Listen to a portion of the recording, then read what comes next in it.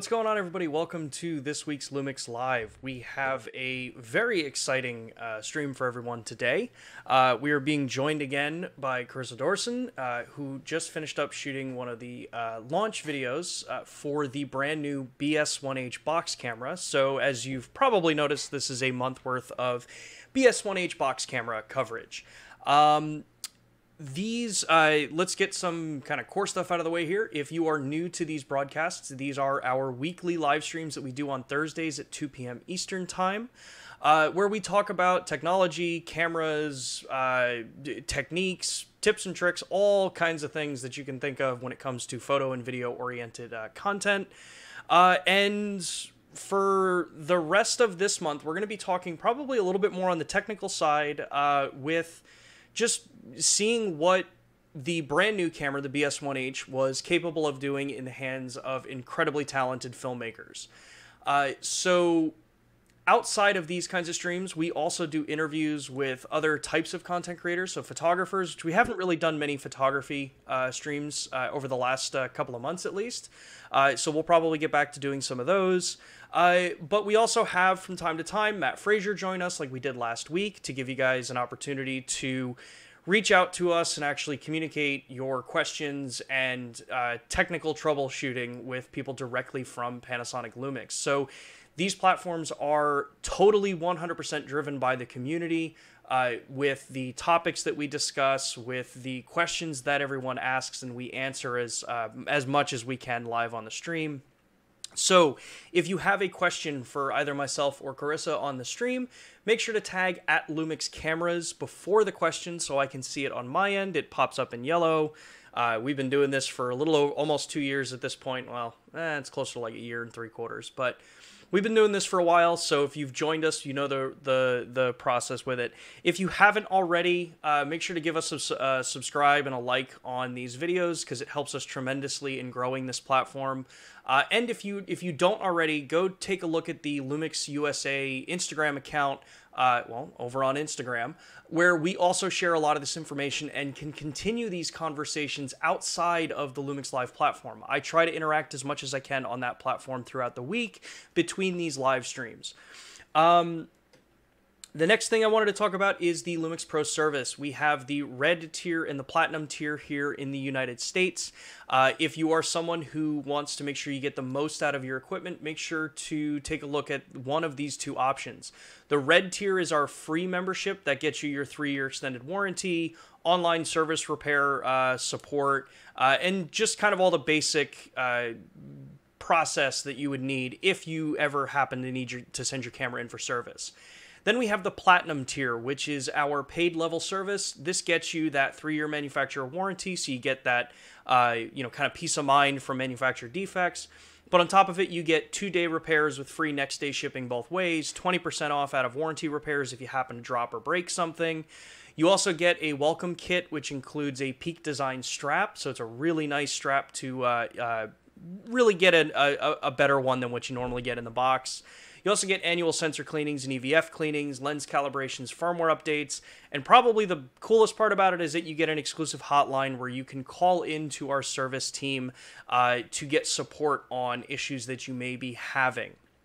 So, outside of that, as we said, we're going to be talking about the BS1H today and its use uh, in the hands of a, an incredibly accomplished filmmaker. So, we're gonna before I bring Chris in, we're gonna show the piece uh, that was shot. Um, now we're also going to be linking in the description and in the cards on the playback of this, uh, both the standard dynamic range as well as a high dynamic range version if you happen to have an HDR uh, compatible viewing device.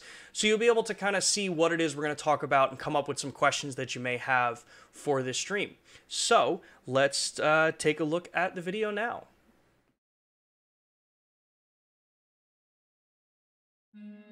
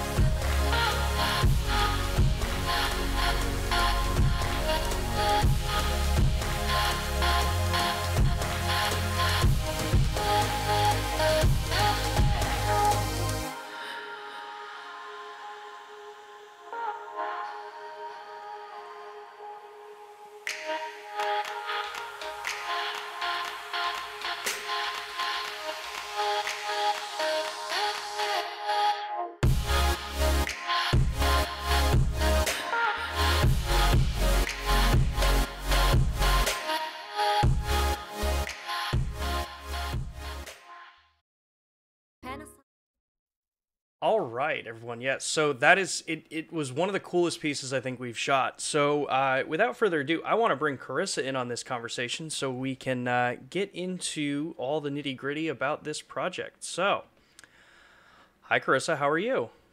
Hi, I'm good. Thanks for having me.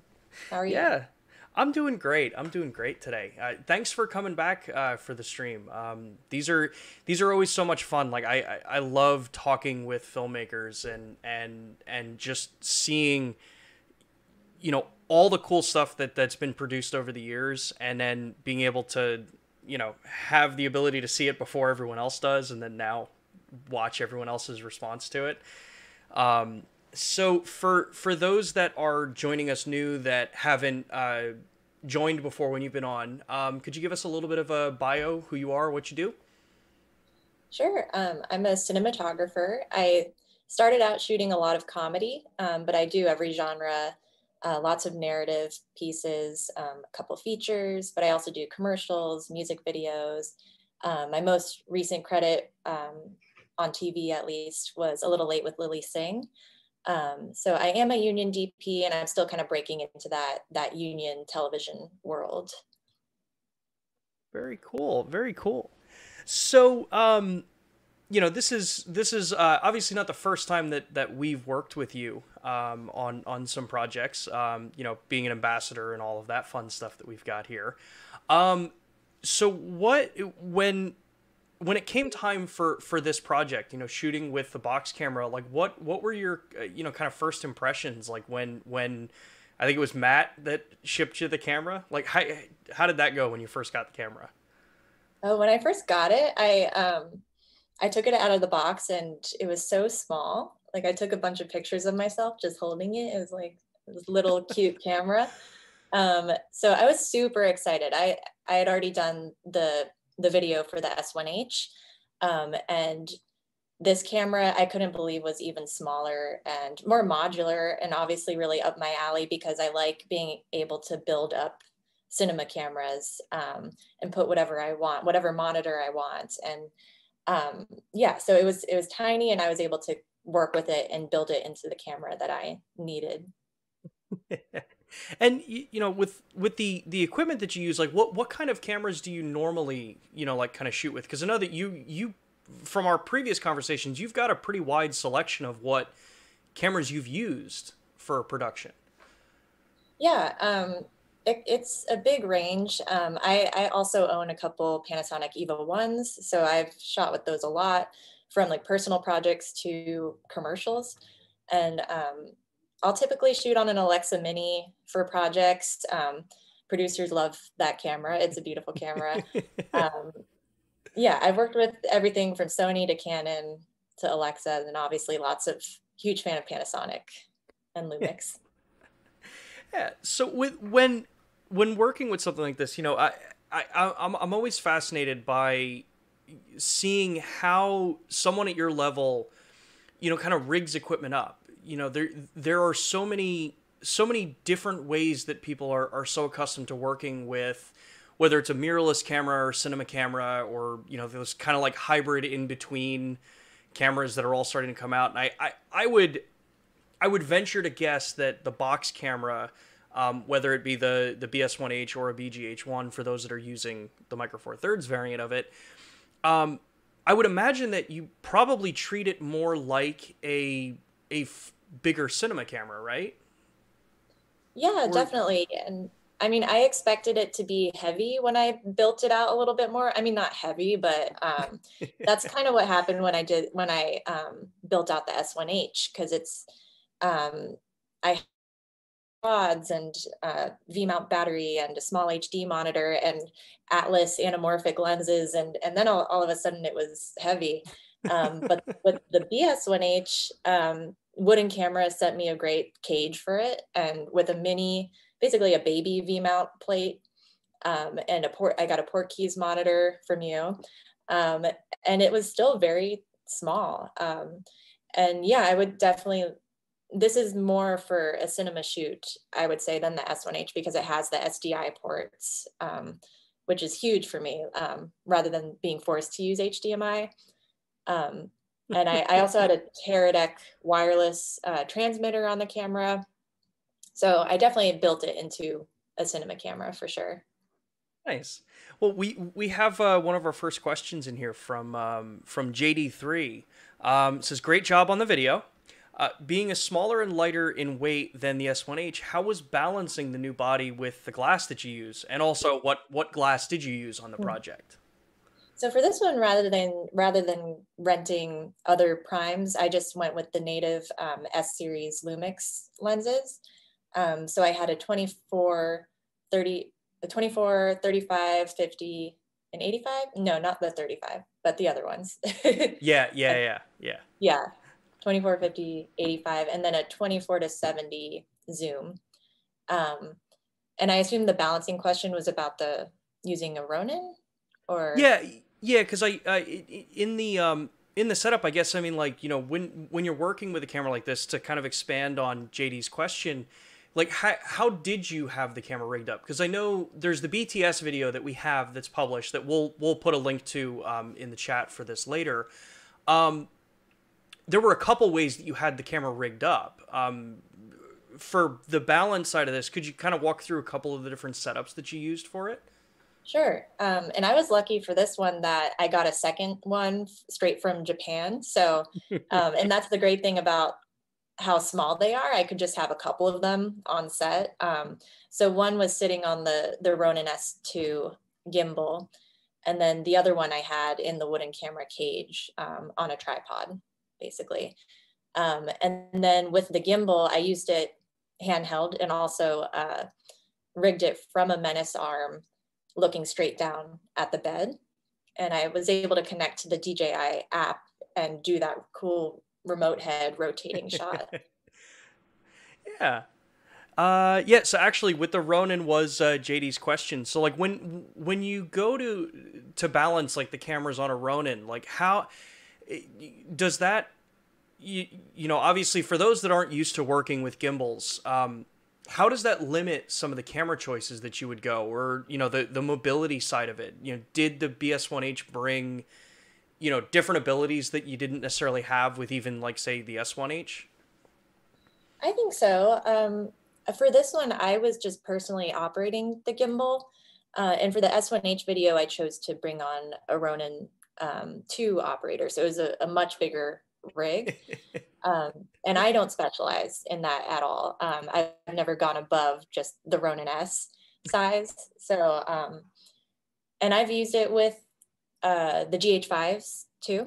Um, and this is the best experience I've, I've had with the Ronin S2 because um, with the box camera, I just felt so free. And it was the first time I, I used uh, the Raven Eye function too. So I was able to go into my, basically use the Raven Eye to wirelessly connect to my phone.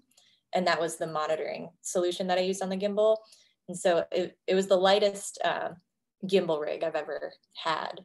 And I was really, it felt good to use it. Nice. Yeah, yeah. I know the with with the Ronins. I think um, you know the the vast majority of people that would be, as I forgot to mute my Mac here.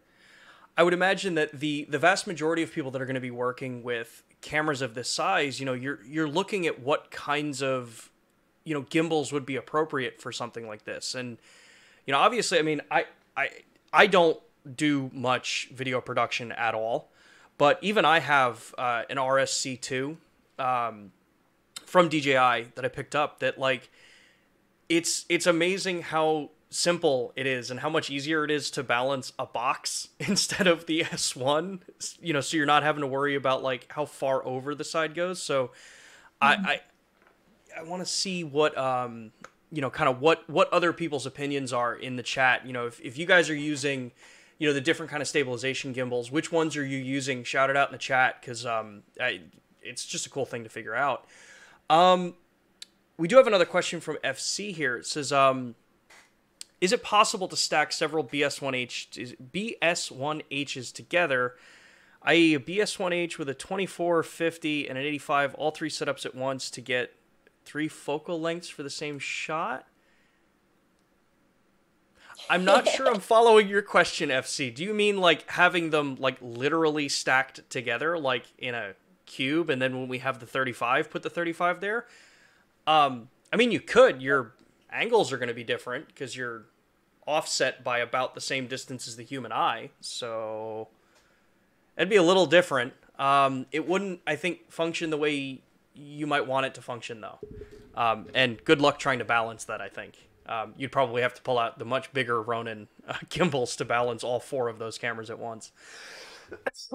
Excuse me. more complicated than it's worth, but I'm I'm sure you could do it. Yeah. yeah. It's kind of like working with those old studio cameras that have the lenses that just rotate on the front and just trying to do it that way. Um, but yeah, so there there were a couple cool things that, that, that you talked about with setting up the um, you know the the Ronin and the and the way you had the camera set up. You know, I, in the BTS um, setup, you know, we saw how you know you were flying the camera on just the gimbal and you were using you know a kind of more self-contained kit, but when you had the camera mounted up um, above the bed shooting down, I assume it was when you were shooting down you had it mounted up there, right? Yeah. How how did you go about monitoring and and you know actually working with the camera when you had it set up like that was there any kind of like trick that you found that worked best for you with something like that um for monitoring we actually did have the the Teradek transmitter um, also rigged up there i think it was just like um, i just had some sort of baby pin adapter um, in order to keep it close i think it was rigged to the ronin s and i went hdmi out for that, um, and it worked. It worked pretty well. Um, I'm trying to remember anything else I had up there. I, I had to rig a battery, I think, for for the Teradek um, specifically. So yeah, those are two extra things that I put up for the Menace arm so we could view what was going on. But then on the gimbal, when I was just roaming around with it, I was I was only viewing on my phone. Um, with with something like the Teradek, I mean, so how how common is is that kind of setup for for I mean a, a production on this scale? I mean, I know for a lot of people they've probably not ever thought about doing wireless, um, you know, image transfer for stuff like that. But I know someone like you who's who's been doing this for a while. Um, I, I was curious if you could share some of the experiences, why something like that's so important, um, and if there was anything on the BS1H that actually kind of aided in um, setting the whole thing up for that kind of uh, production. Um, yeah, I use wireless monitoring for almost every shoot I do now. It just makes things a little that much easier because if you're going handheld, you don't, you're not tethered to a monitor and you don't need someone wrangling you. Um, and you can also get, I, I love getting the handheld um, SmallHD uh, 703 bolts because uh, those are compatible with Teradek. Um, so it, you can have a small handheld monitor um, and a Teradek transmitter on your camera, and the director is able to to look at it, or whoever you, need. Um, like it's great for ACs too. Um, so yeah, I think for handheld situations or, or, situations where you need to be very mobile, it's really important. Um, there are a lot of different strengths of Teradeks or any other kind of um, wireless. And I usually go as high as I can that the budget allows for. So I'll usually get a Teradek 3000 um, because you, there's always issues. Like if, if you have client in another room or something, you want the signal to be able to reach. Um, so yeah, that's that's normally a setup that I have. yeah, and uh, you know, for for those that that aren't um, necessarily fully up to speed on cameras like the box camera, you know, there's some cool, I think, uh, features that this camera has that. Um, I think some people may be a little confused as to why we picked certain, uh, you know, outputs on this camera, like the SDI output. It's only a 3G SDI, even though the camera is capable of shooting up to 6K 24. Um, how how often in your experience of shooting would you ever find the need to be able to have an HDMI out and an SDI out and internal recording? Is that something that actually provides benefit uh, in, in in your project workflow? Um, yeah, there have been times where, um, for example, with my EVA one, I've wanted to go out of both HDMI and SDI. Um, when I was using a Shogun recorder, for example, um, I would use uh, SDI to go into that monitor. And that was just a clean image because I needed to record the image. Um, and then out of HDMI, I sent uh, basically to Video Village, I sent um, an image that also had our settings on it. Um, so it's nice to be able to like send, yeah, a clean image to one monitor if you want it, and then maybe an image to another monitor that has like ISO and your resolution and all those that information recording information on it. So that's one one example where it came in handy. Um, eh, so with with this project, um, Alan has a question here. Uh, it says, um, well, the, the basics of it. Um, were you recording internally to the SD cards, or did you re- record externally um, to you know some sort of external device? And if if so, which codecs did you work with, and and uh, frame rates did you work with? I recorded internally, and I did the the 422 10 bit all I uh, codec. Um, so yeah, it was still. I love that it's still 10 bit, and I can just record to SD cards. Um, and I also wanted to mention that um, with the output question earlier, I was going into, for the most part, I was going into a Portkeys monitor with the SDI and then out of the Portkeys monitor into the wireless transmitter. Okay. That I did not know. I learned something new every day. Oh.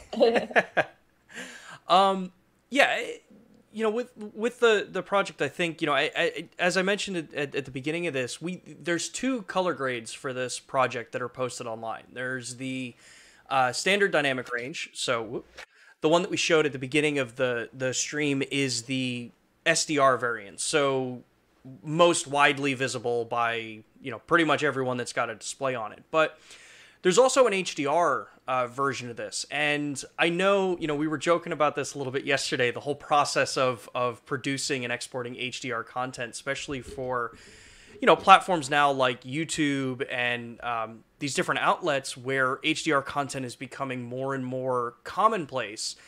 Um, knowing that we as as Panasonic wanted to shoot the project and deliver it, or you wanted to have the project delivered in HDR. How did that address?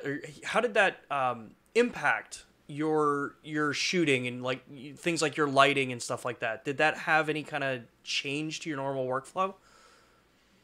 I personally was not thinking about that in yeah d- during production. That's not something I really kept in mind. Um, but I am still learning a, a little more about HDR and that whole post process and it's honestly very confusing. But um, i think the, my biggest takeaway from it is any of the really specular highlights like um, the last shot where you see the street lights all around i think those really you can see so much more detail in them in the hdr um, version where you're actually watching on an hdr monitor. And even um, I think some MacBook Retina Pros are comp- compatible with um, HDR, so I was able to see it on my my screen, and I could definitely tell the difference between the two the two versions. So, eh, you know, with with this kind of setup, I, I I think it goes without saying, but you you shot this in a log profile, I would assume, correct? log. Yeah. Eh, so how eh, how has your experience been working with V-Log or V-Log L, um, you know, since that's what's on the GH5s, that series camera.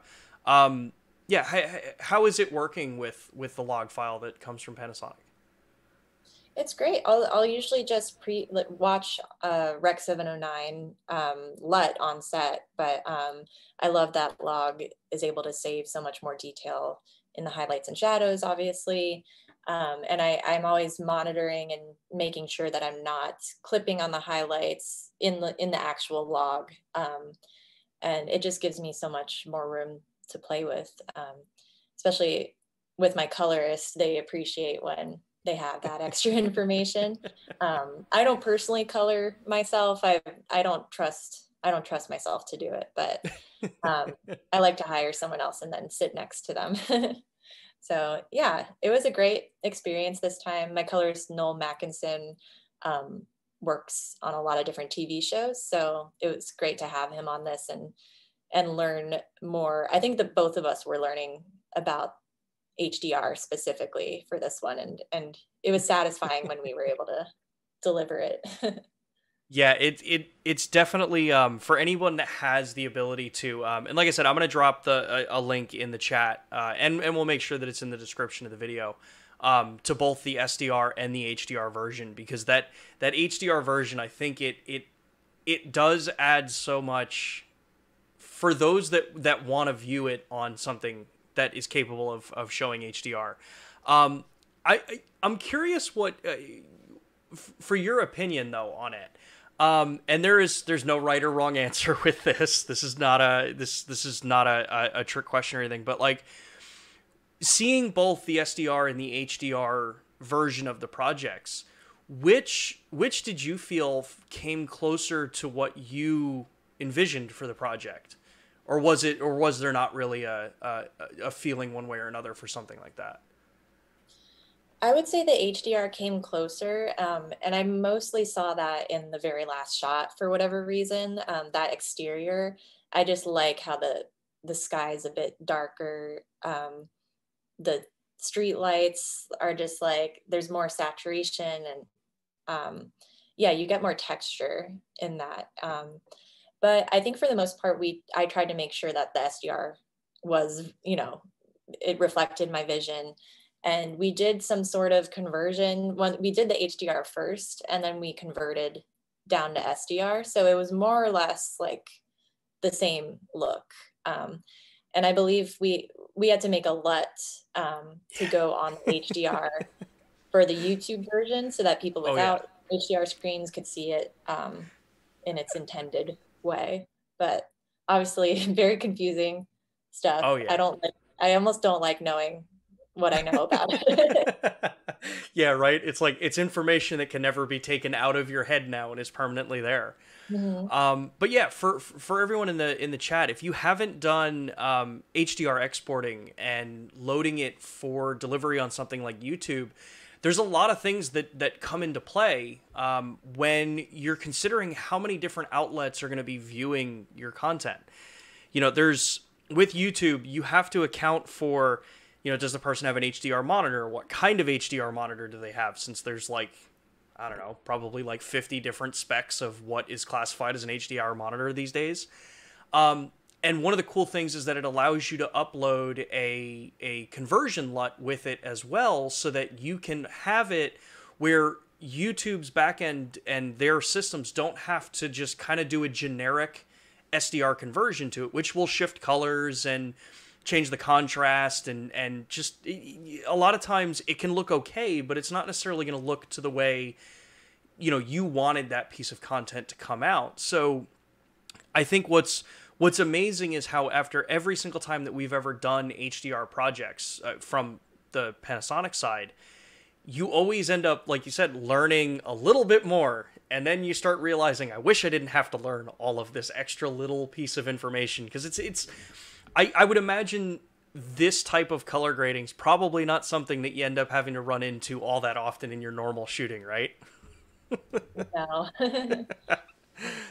um, so with with the project itself, I I think one of the one of the biggest things that, that, that we haven't even touched on yet is is the the lighting choices for this whole project. I mean, you have such dynamic, you know, kind of um, impactful lighting on this project that um, I think if I remember right correctly, in the BTS, like the lighting is almost a character in its own in this piece. Yeah. Um, could you give us some insight into like you, you know how, how that idea came up and you know kind of the the workings behind of you know how you actually got to the end result that that we see on screen yeah um it was really exciting to be able to come up with my own concept again um, and this one came from I think specifically nights during quarantine when I couldn't turn my brain off and I was just riddled with anxiety at night and couldn't sleep. Um, and then you start to notice the things around you, especially when it's dark and your eyes are adjusted. And and I could see um, lights hitting my wall that from all the way down the street, just um, traffic lights that are super far away, but I could still see them. Um, and later took some photos uh, like long ex- exposure photos of them. And I just wanted to replicate that beauty that I found when I was so anxious that um, kind of brought me back, uh, it grounded me and like made me thankful for just the simple things. So I wanted to convey that in this video basically and have this dancer be inspired by that. Um, and I think music is another really great element um, and so much fun to work with. So I I made sure I so I found a song where um, I could kind of line up the lighting and it had the right tone that I wanted. And um, as far as how we did it, we had um, we were using a combination of Source 4 Lecos that were gelled, and then also uh, DMG Lumiere mix lights. So those are LED lights. Um, and the mix lights can be controlled via Bluetooth. So my gaffer was actually switching between the colors um, just using his phone. And then um, we had another um, another crew member switching the Lecos uh, kind of manually, I think. And uh, we also had this awesome backdrop donated to us uh, by Rosco. Uh, they lent it, lent it to me for the shoot. Um, I work with Rosco and DMG Lumiere a lot, so I want to give them a shout out. Yeah, uh, definitely. yeah. And then the final element was Fresnel lights that were actually on doorway dollies. And uh, my key grip, uh, Carl Stewart, came up with this great pulley system with ropes um, so that the so that we didn't need somebody physically pushing the dolly past the window. Um, so we had, I think they were 650s, just going back and forth pretty fast. Yeah.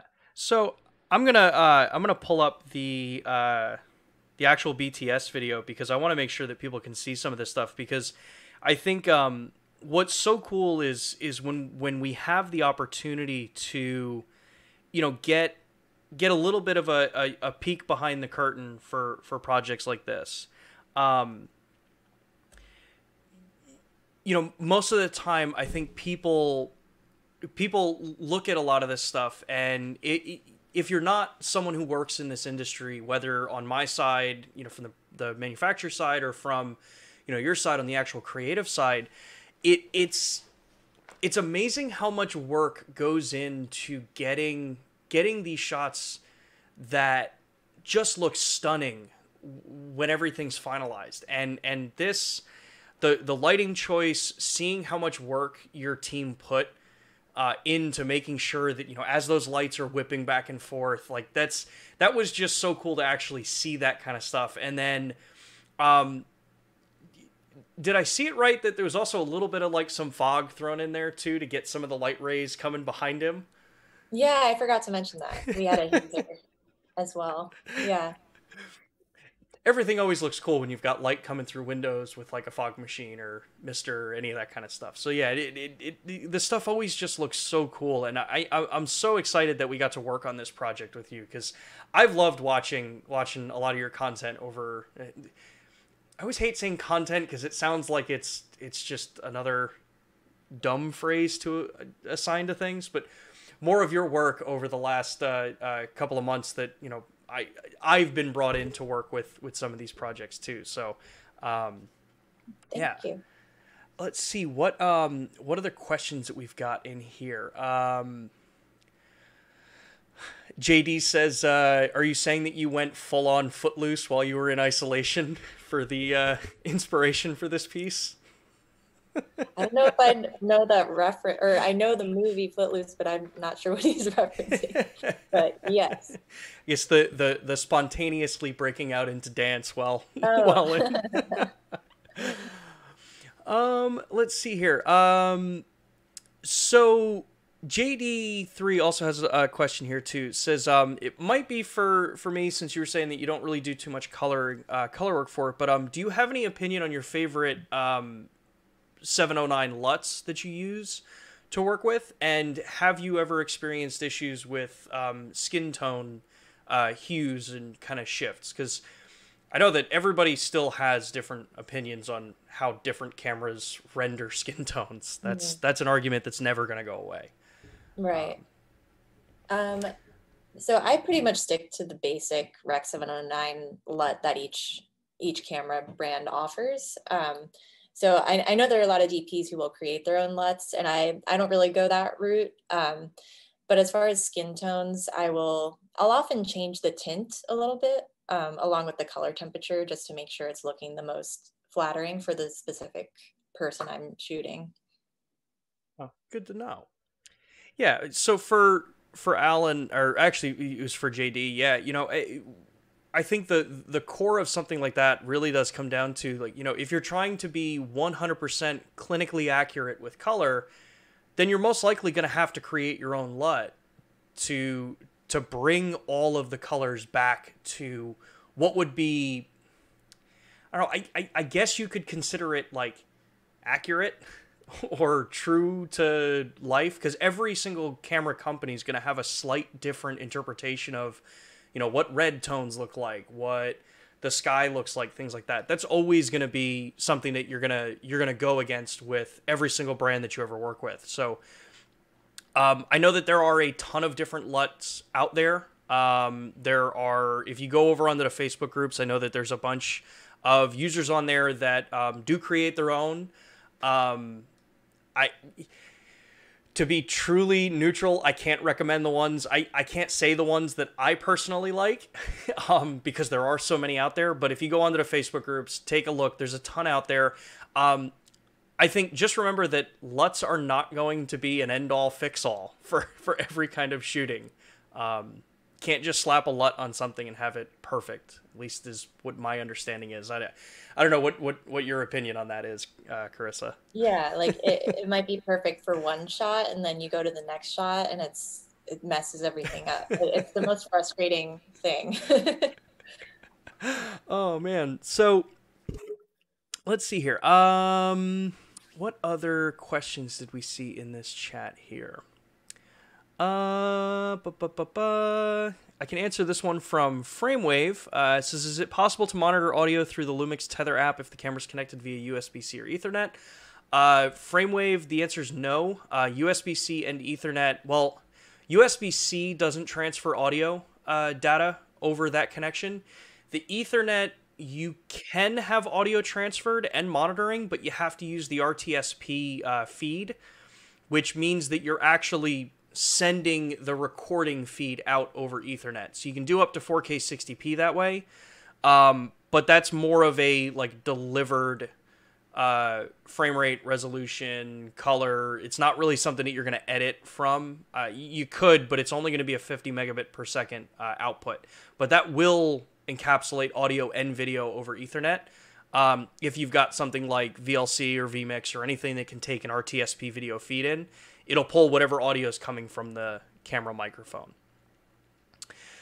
Uh, let's see here. Alan asks a question How does shooting in V-Log versus HLG profile change things when delivering for HDR? Not familiar with HDR, to be honest. Um, well, I can say the most professional way to do it is the way that Carissa and her team did it is shoot in V-Log and then actually do color grading and work with a colorist and that kind of level uh, hlg is a deliver ready uh, hdr profile uh, so what that really means is that hlg comes out of the camera in a 420 10-bit uh, file in hevc compression so if you take that file and load it right onto youtube or put it right on your television uh, it's going to tell the display all the information it needs to flag properly for HDR on the hybrid log gamma curve.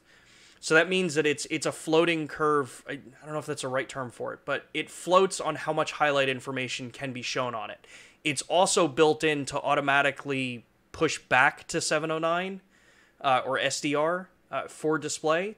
But if you're going to be loading content up, I would highly suggest taking a look at some of the different videos out there from uh, some of the videos that we've posted, Photo Joseph, some of the um, other content creators out there uh, that work in HDR because it is a whole new world of exporting, especially if you're doing something for YouTube. If you're talking, you know, you want to export HDR for Netflix or HBO or Amazon Prime or any of that stuff, that's an even different world than what this is. Then you start getting into, you know, P3 color versus yeah, I don't know. It's even above my head with that. So um cool.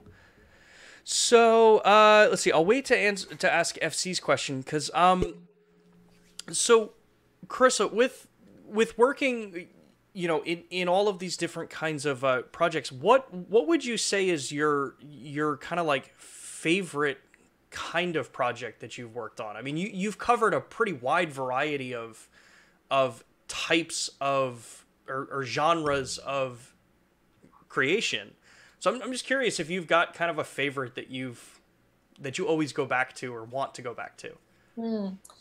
for me it's definitely narrative projects. Um, definitely want to get more into features. Um, I've, I've shot a couple features, um, but I just love comedy that is, it also makes you cry. It's kind of that middle area, just comedy with heart or drama that makes you laugh a little bit. um, yeah, that's where I really feel it. Um, I love when I really connect with a script and I can help tell that story. So that's that's definitely where my passion is. Yeah, very cool. Um, so I'm trying to think. So for everyone in the chat, if you have more questions about the the BS1H or working um, with it on the project, you know, drop them in the chat at Lumix Cameras. This is this is your opportunity to get your questions answered.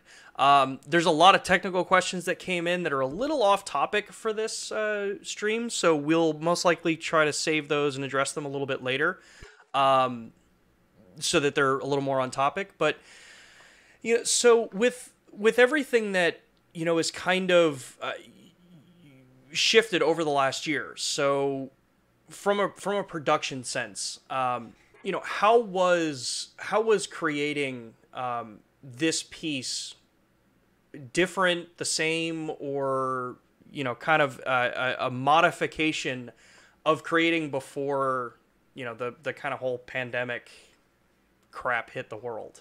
Like, how does that affect when you go in to create something like this? Because you, you, for this project, you you had a crew, so yeah. I'm just curious how that how that works nowadays. Yeah, um, well, we shot in August, um, so not too long ago, and I mean, production is busier than ever in LA right now. It's it's kind of crazy. Um, so we've definitely found a way to make it work. Um, a lot of you know, every production has their own COVID pro- protocols now, and it's a little more um, consistent among like the studio shows. Uh, but as far as indie filmmaking, there's still you know rule rules that each set has to adopt to make everyone feel comfortable and safe. Um, so for this one, I mean, some it's it's a weird area where like I know some some people are requiring vaccinations or or just a negative COVID test before the shoot. So that's something we we decided to do with our crew, but um, we were still masked on set, um, except for our talent and um, individually packaged meals, that's pretty much it. Like it was a pretty small crew. Um, so it was, I think it was fairly easily achievable for this one. And we, we had a pre-light day too. So it kind of made it a nice, comfortable um, pace where we could get what we wanted. Nice. Yeah, yeah it, you know, I, have I've always been curious because like, so I, I was just in LA for Cinegear. Um, geez, what was that? That wasn't last week. That might have been the week before or maybe it was last week. I don't know. All the weeks are blurring together again. um, and yeah, it, it, it was amazing to see, you know, the the people that are in production and I mean, still taking time to come out to a trade show, which I thought was a little weird, but actually like like how much is still actually really going on. So it, it's it's cool to see that you know things are starting to or have been coming back into into kind of a, a full swing. I mean, there's what like a year and a half worth of production backup that has to get kind of cleared through all these different yeah. projects. So yeah, so let's see here. Um, what are the questions we had here? Uh, JD just blinked three times. Uh, I I I can't. Sorry, man. Uh, sorry, I don't know who you are, but I can't. Sorry. Um, are we expecting a price drop for the S1H since the BS1H is out? Uh, why? Why? They're different cameras. Um, totally different uh, purposes uh, that you would use either camera for. So, um, let's see here. Uh, so, off-topic questions. This project. Were there any unexpected challenges you came across when using the new camera, Carissa? Mm, I mean, aside from the fact that it's an early pre-production camera that probably had some firmware bugs. yeah, I did have like a glitch or two for for that reason, um, but only that uh, it was easily figured out. And then uh, I'm trying to think of anything. Like I just had to learn the there are shortcut buttons on the front of the camera. So if I had the camera a little longer, I probably would have labeled each one. But um, I kind of got a feel for it. It was nice. You have at f-stop and ISO, um, color temperature, just all on the front of the box camera. Um, and then the menu was so easy for me because I knew the S1H already. So I felt pretty comfortable toggling through the menu. Um, it was actually my first project, um, shoot cinema project with the Lumix lenses. And um, so there was there were times I was, you know, auto, trying to use autofocus um, with the face detection on the on the gimbal, and I was actually really happy with how that turned out when I when I shot the dance. It was able to, you know, keep focus, um, and then for the last shot, the exterior shot, I actually just kind of I set the focus to a specific range um, and shot at around an f8, so I didn't have to worry about it because there's a lot of running involved. You know, there's running and lots of moving parts. So I, um, and it, you know, the, it doesn't claim to have perfect autofocus. So uh, I just decided to set it. And I think that worked really well for that shot. Um, and one thing I haven't mentioned yet is I shot the majority of the piece at 4000 ISO. So I was on the high end of the dual native ISO. And I, I switched back and forth a little bit, but I really wanted to test out that high range. And um, what else? yeah, the the high ISO kind of gave me more depth of field to work with. I was able to stop down a little more, and then I shot at a slightly sharper shutter speed. I was at 144 degrees, um, just for that dancing, quick movements. Yeah, I'm trying to think of other things that I haven't covered yet.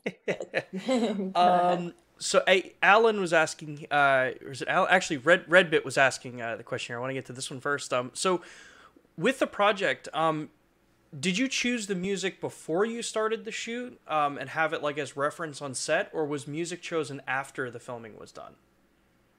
Before, yeah. There's no way it could have happened after, uh, just because we had it playing on set, um, and the cues, everything was uh, rehearsed to the music. Um, and I had a choreographer, uh, Buchanan, uh, who I've worked with on on every dance film I've done. She's amazing. Um, Clinton Kyles, the dancer, was awesome. So we met beforehand, and um, Kazi planned out the dance, and and all of the lighting was um, cued by the music, basically.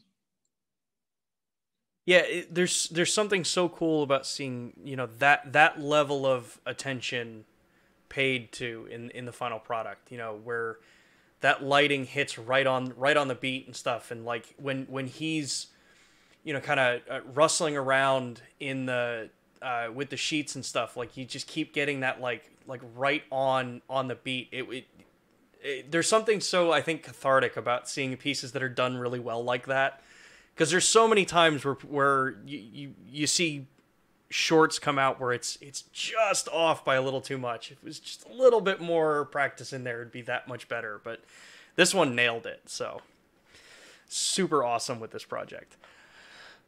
Um, let's see here. Uh, question from um well, okay, this question came from Alan, but we did kind of address it. Um, was uh, Alan just went in and was watching the BTS, um, and he wanted to know how you were managing focus while the camera was on the gimbal. Um, I think you touched on that a little bit. Um, yeah, um, yeah, it, I was just on autofocus. Uh, pretty sure it was the face detection mode, even though it wasn't always on his face. But I, I think it knows to kind of grab onto a body too, like if there's no face in in the mm-hmm. shot. So um, it was it didn't work every single time, but it um, it worked uh, most of the time, which was impressive. um, let's hear it. Uh, FC asks, uh, I saw a few shots where scenes uh, where the scene switches between the whole body while shot, uh, and then zoom in on a, a hand, doorknob, or etc. Um, did you shoot those in one shot, or do you do like multiple takes for like the different angles? Um, it was multiple takes for the different angles. Um, but if I this is something that could have uh, been shot with two cameras, I think. Like, and I usually don't go that route, but I think getting multiple BS1Hs is is an option if you want to do that. Um, because it was just like a wide shot and cutting into close-ups. Um, so yeah, multicam is achievable, but I just focused on one one camera for this one at a time. Cool. Yeah. So, um, let's hear. I know uh, we're coming up uh, close to the hour, um, and I know I don't want to take up uh, a whole chunk of your day because I know you've got some some cool stuff going on. So, um, let's. Uh, I'm going to put one last call out for any additional questions that people have, um, and see what else we've got going. Uh, in the meantime, um, could you uh, is there anything um, you know anything kind of cool exciting that you're working on that you want people to know about mm, that i'm working on now uh, so i just shot a short for the hulu show uh, your attention please which is hosted by craig robinson um, so i don't think that comes out till february but that was a really fun creative project uh, to work on with director simone baptiste and um, so yeah, I'm excited for that to come out. And currently, I'm in Tallahassee, Florida, uh, where I went to film school 10 years ago, and they invited me back to teach some cinematography workshops just for this month. Um, so I'm about to literally go teach a lighting workshop. Um, and this is a really new adventure for me. And it's cool to learn how to explain concepts and how to teach. And teaching is hard. I'm oh, yeah. realizing that now. So um, yeah, that's what I'm doing at the moment um, until I get back to LA in November. Nice. Well, very, very cool. Um, so it looks like uh, we, we got pretty good on most of the questions here. So um, where can uh, where where can people continue to follow you, check out your work, um, and and you know kind of just keep up to date with uh, new projects that you might have coming along the line? Um, you can just follow me on Instagram. It's at CL Dorson on Instagram. Um, you can check out my website too, carissadorson.com, though I do need to update that. Um, so yeah, Instagram is probably the best place to follow me. Oh, very cool. So um, yeah, so with that, uh, thank you so much for for taking the time out of, out of your day today. Um, the, these these projects, these conversations, I love. I, I love this stuff. This is like one of the more fun things that I do for the company. So uh, it's always an honor for me to have people like you come onto the the stream and share some of your expertise and uh, your insight with with those of us that join. So. Um, outside of that, uh, yeah, uh, thank you everyone for joining us this week. Um, we will be back next Thursday at 2 p.m. Eastern Time. Uh, however, that stream is going to be a YouTube premiere stream, so it won't be an actual live broadcast, uh, unfortunately, uh, because I'm going to be back on the road uh, up in uh, Tennessee. So I won't really be able to do a live stream from the location that I'm at. Uh, but we'll be talking with uh, at least Matt Frazier on the uh, Datavideo integration uh, for PTZ options with the BS1H and even the BGH1. Um, so there's going to be a really cool uh, kind of semi pre recorded, uh, well, actually, yeah, a fully pre recorded stream for next week. So I apologize that we won't be doing it full blown live, but there will be a uh, video posting up going live at 2 p.m. Eastern next Thursday. Uh, with that, everybody, thank you so much. Thank you, Carissa, for joining us. This was awesome. I always appreciate, um, you know, when when you take your time to to join us for these things. It is a big honor, and uh, yeah, I hope everyone has a great rest of your week. And uh, we'll see you next Thursday at 2 p.m. Thanks, everybody. Thanks so much, Sean. Thanks.